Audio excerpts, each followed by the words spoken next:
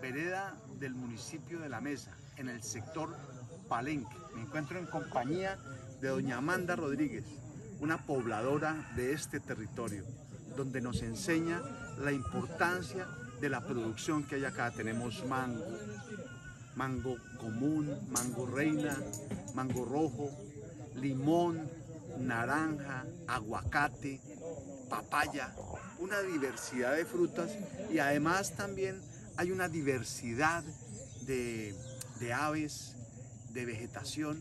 Esto nos ayuda a conocer los territorios eh, que son parte de nuestro país, eh, zonas y territorios saludables para vivir, para tener un ambiente donde podamos eh, respirar aire puro, aire fresco, aire que nos ayuda a desarrollar mejor, una mejor calidad de vida.